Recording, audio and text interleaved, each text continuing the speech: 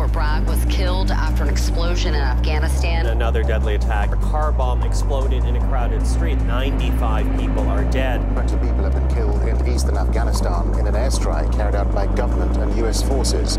Two Americans were killed during a military operation early today, casualties of the longest war in American history.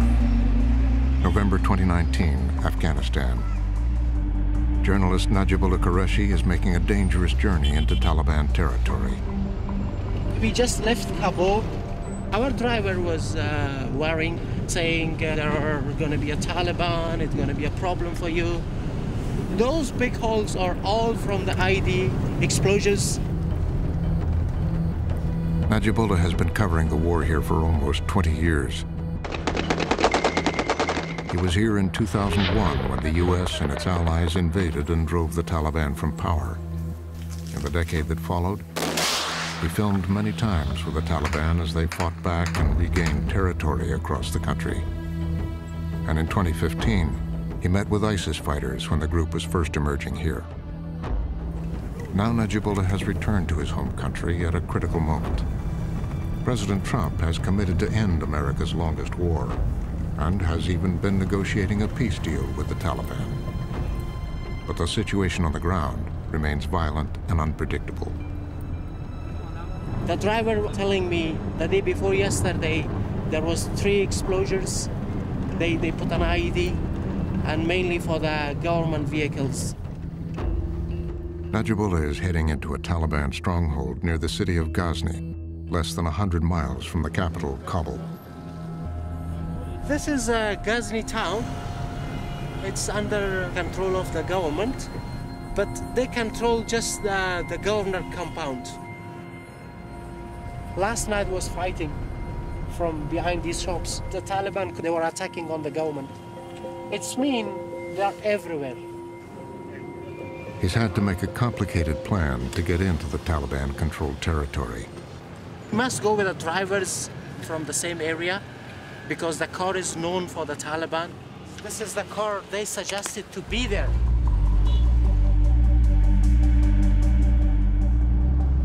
This was the last checkpoint we just crossed. From here onward, the Taliban, they're in power.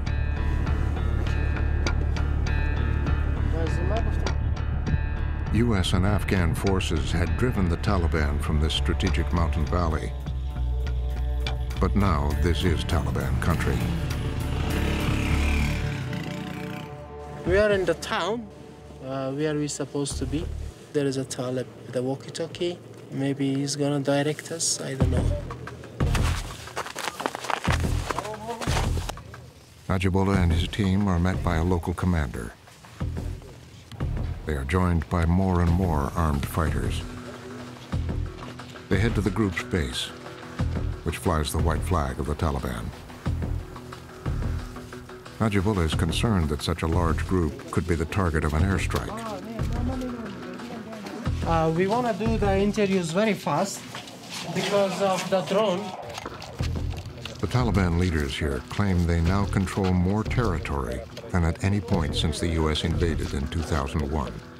نوم چې دی مولوی نصرت دی ناور ولسوالۍ نظامی مسؤل یم دوه سو کسانو مجاهدین موږ سره د کومه ولسوالۍ کې چې د موږ مسؤلیت دی دا ډیره پرنفوس ولسوالۍ ده او ډیره غټه ولسوالۍ ده چند فیصد خاک افغانستان امارت تحت کنترلش داره تقریبا په سلو کې اتیا فیصد خاوره مکمل طالبانو په کنترل کې ده The Afghan government disputes this and claims it controls 94% of the population. But to show the extent of their territory, the Taliban here let Najibullah and his team fly a drone over the valley. They perform military drills out in the open. او دلته اوس د ګډاګۍ ادارې هیڅ نوع حضور نشته او د ولسوالي په مکمله فتحه ده جهاد کال د غزنی په مرکز کې موږ ګروپونه لرو The fighters gather around Najibullah's colleague, Karim Shah, who's been operating the drone camera. دغه سینمایش په خاطر یې ګوري چې څنګه قصه ده څنګه چل ده مجاهدین خو ډېر بیداره خلک دي د هر شي نه معلومات Another commander leads them to one of the villages under Taliban control.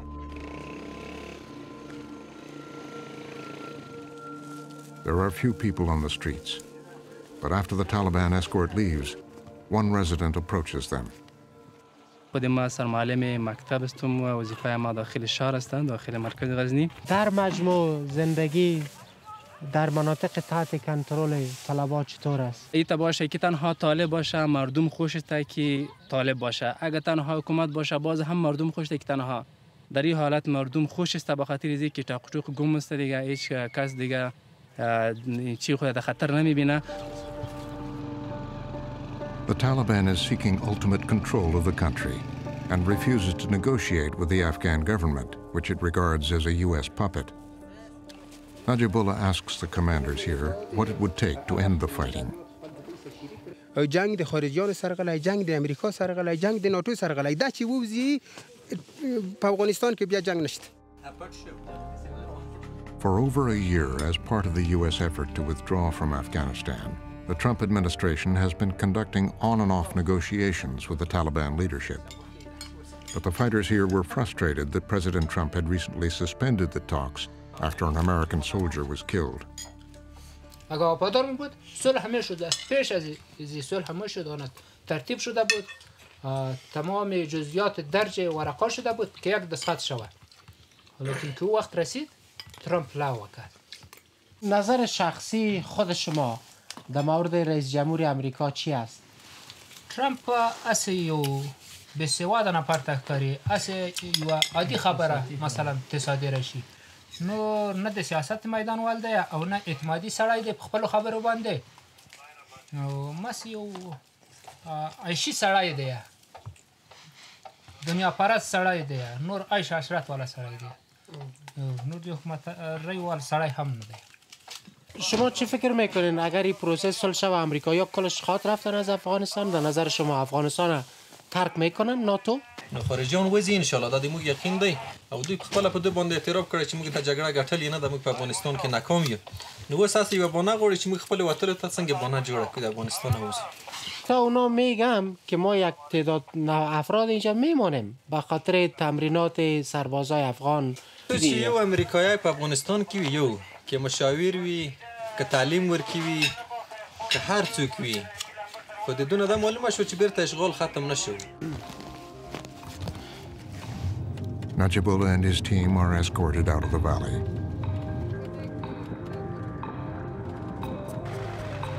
They take the battle-scarred road back to Kabul.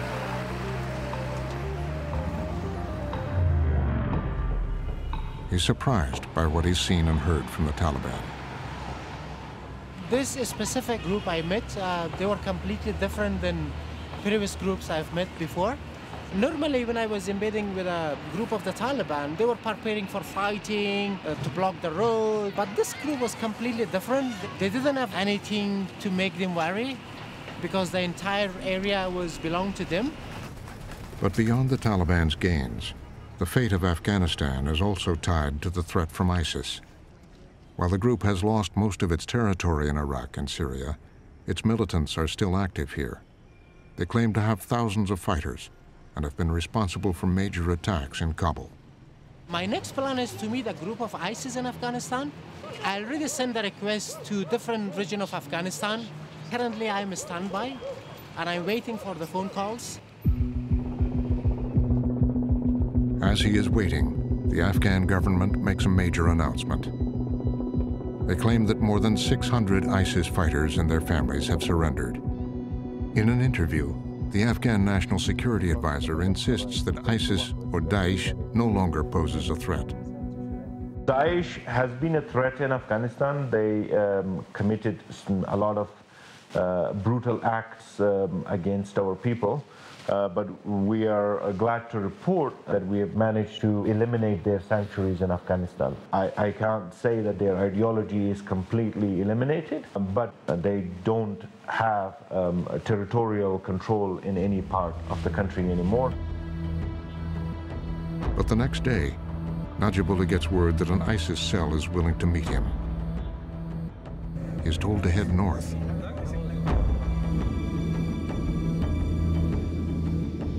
He flies into the city of Mazar-i-Sharif. The go-between will take him to ISIS. When you go somewhere, you are in the hand of somebody else. They can do whatever they want to. Why do it then? Well, it's, it's very important to find out uh, because the government always denies. Some, sometimes they say, yeah, that ISIS is a big threat. In another hand, they says, no, ISIS is gone from Afghanistan. I, I really want you to know either they're really gone from Afghanistan or they're already here.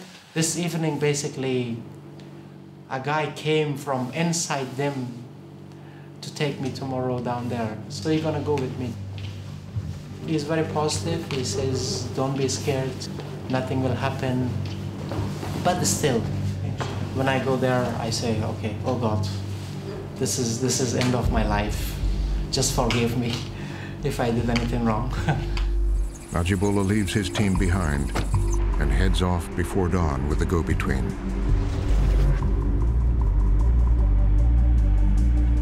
He films the journey into the Baghlan province in the foothills of the Hindu Kush Mountains. He has to change cars three times for security reasons. Eventually, he is joined by two armed ISIS fighters.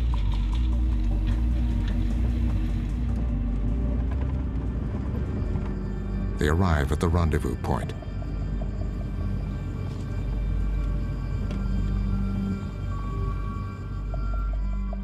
After an hour, figures begin to emerge from the mountains.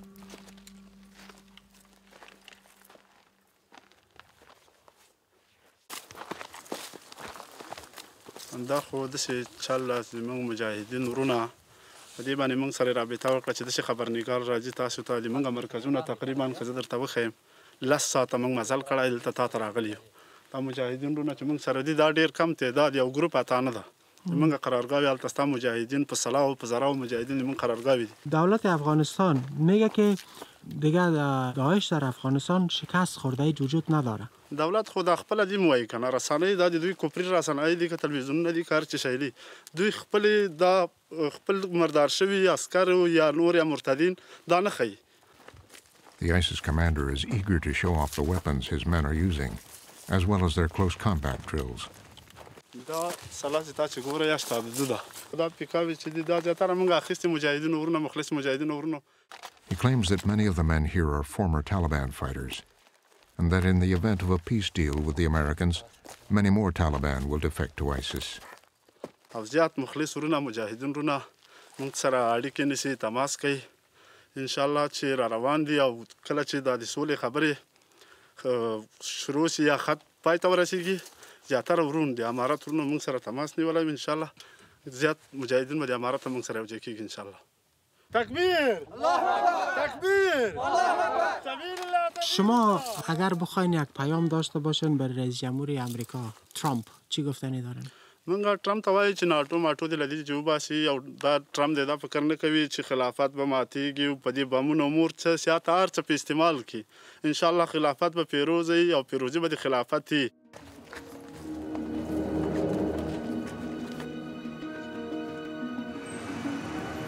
Back in Kabul, there's more news. President Trump has made a surprise visit to Afghanistan. He's announced that the peace talks with the Taliban will resume in the Gulf state of Qatar. We've been wanting to make a deal, and so have the Taliban, and we're going to stay until such time as uh, we have a deal or we have total victory. Seems the peace negotiation going to be on again, according to what he said. I hope this time is going to be happen some things, because uh, all the people in Afghanistan wants peace.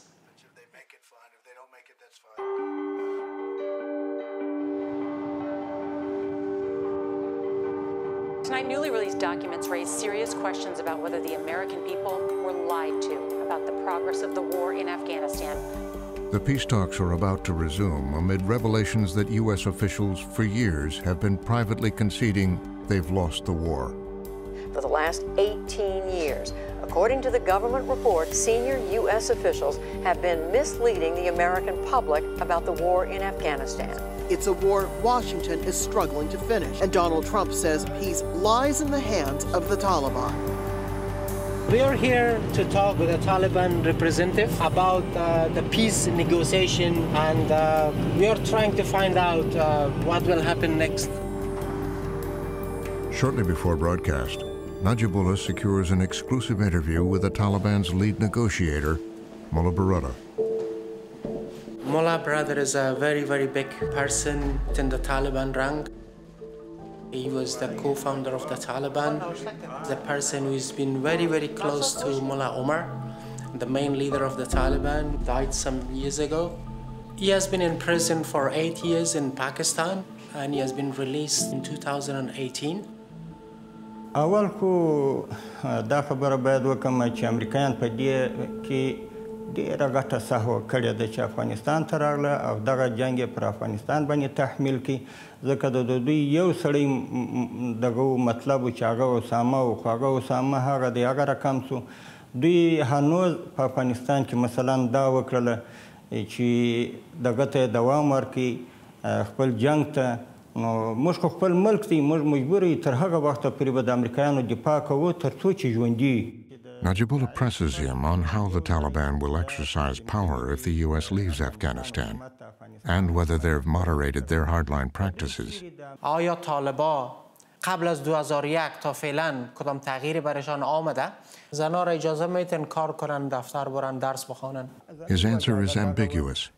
Women will have rights, but only according to the Taliban's interpretation of Islamic Sharia law. په طالبانو کې په دې باره کې هیڅ تغییر نه دی راغلی چې کومه خبره زنانو حقوق ته چې الله تعالی ورکړي موږ بالکل ورته قایل بالکل په هغه وخت کې هغه کوم اسلامي قانون اصول کې چې دا کومه گزاره او زندگی کې بالکل اجازه ورکړو Another looming question for the Taliban is how it will handle ISIS. من امی بار با یک گروپی از داعش هم ملاقات کردم در شمال افغانستان اینا اصلا طالب بودن حال داعش شده و اینا گفتن که ما هیچ از این موافقه صلح با امریکایی ها راضی نیستیم. هر وقتی که موافقه امضا شوه بسیار امارتی ها بسیار میان برای ما میپیونده. این حقیقت داره؟ گپای اونا دا یو فتنه ده چې په افغانستان کې پیدا شوې ده او په نورو ساحو کې پیدا شوې ده لکه سوریه او په نورو په عراق او په نورو ځایو. په افغانستان کې الحمدلله دوام نه وکړي نه کولی شي.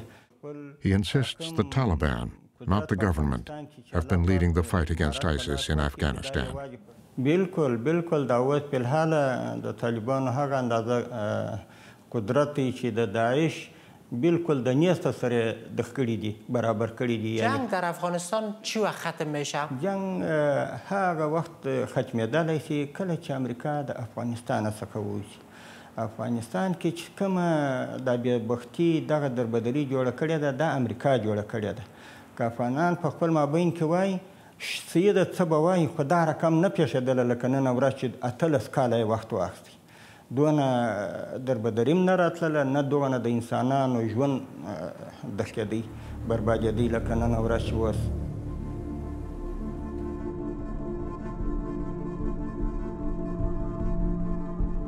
As the peace talks restart, the U.S. has asked the Taliban leadership to prove it can control its fighters on the ground by calling a ceasefire. ISIS, meanwhile, is watching and waiting. د سولې سره ان شاء الله د خلافت گزار وویني ورله د سولې ان شاء الله امارت هم موږ سره دا موږ سره وعده کړی ان شاء الله راځي زموږ هدف دا ده چې خلافت تر هغو په نړۍ باندې نه تطبیق کړای تر هغو پورې موږ نشو کېناستی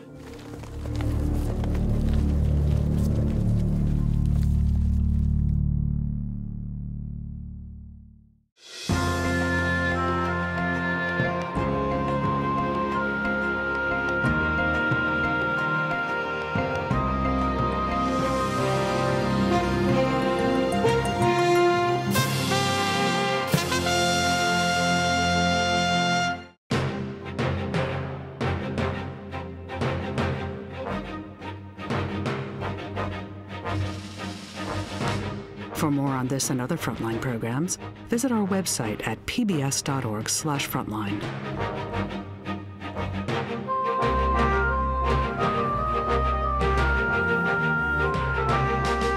Frontline's Taliban country and the Luanda leaks are available on Amazon Prime Video.